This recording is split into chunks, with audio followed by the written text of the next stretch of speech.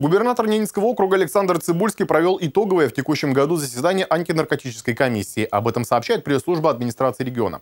В ходе мероприятия были заслушаны доклады представителей органов государственной и муниципальной власти, правоохранительных и надзорных органов о наркотической ситуации в регионе и о мерах, принимаемых в целях повышения эффективности профилактических мероприятий, направленных на предупреждение и пресечение преступлений в сфере незаконного оборота наркотиков.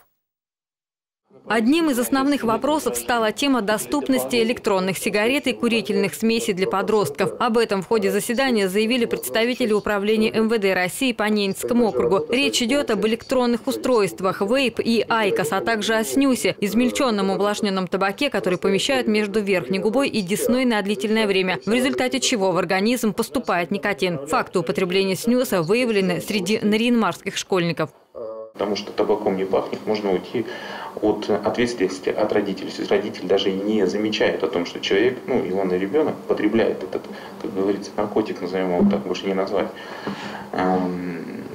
Мы выступаем, вот сейчас мы зафиксировали в э, первой школе у нас всплеск, педагоги нам сообщили, большое вам спасибо за информацию, мы провели мероприятие, и вчера был всплеск в третьей школе э, потребления данного снюса. Мы провели профилактические мероприятия со всеми магазинами табачными, которые распространяют, могут распространять. Э, данное зло мы выявили, что в Бристоле у нас распространяли тысячи мелочей, белый дым, но на данный момент здесь на территории уже не распространяют вот в этих магазинах.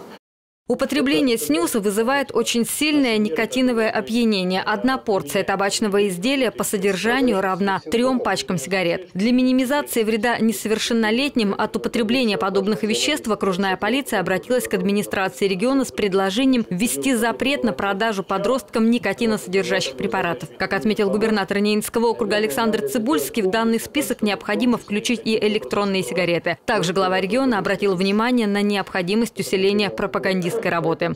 Сегодня, я так понимаю, большинство почему делают этот шаг? Они видят вот эти примеры, что вроде как модно, не модно.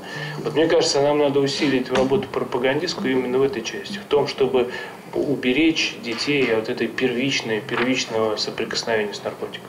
И вот здесь нам надо максимально усилить именно пропагандистскую и э, такую визуальную, визуальную информацию.